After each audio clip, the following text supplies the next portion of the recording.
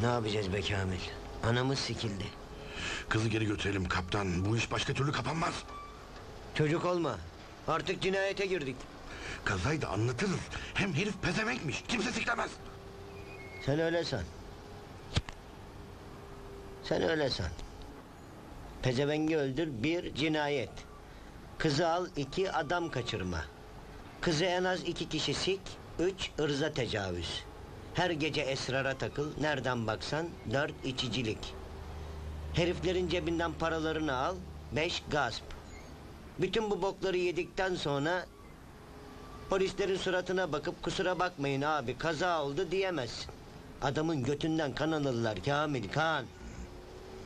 Hadi kız orospu. Ki bu ibneler bakireydi diyorlar. Bakire kız nasıl orospu olur ben anlamadım gitti.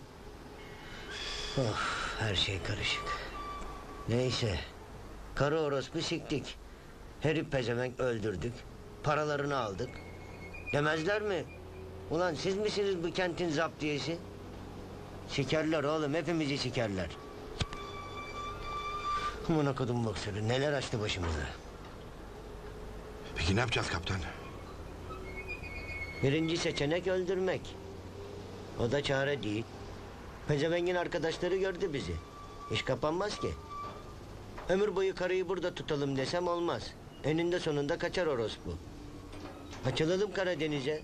Bırakalım karıyı köstence desek o da garanti değil. Ya bu pezevenklerden birine vurgunsa?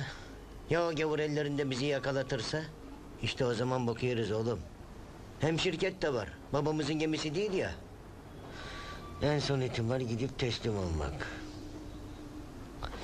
Ama karı her şeyi okur. Bir tek ben yansam neyse. Hepimizi yakar bu karı.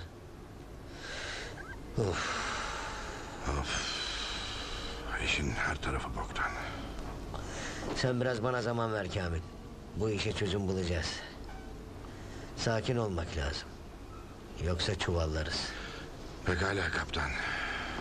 Haklısın.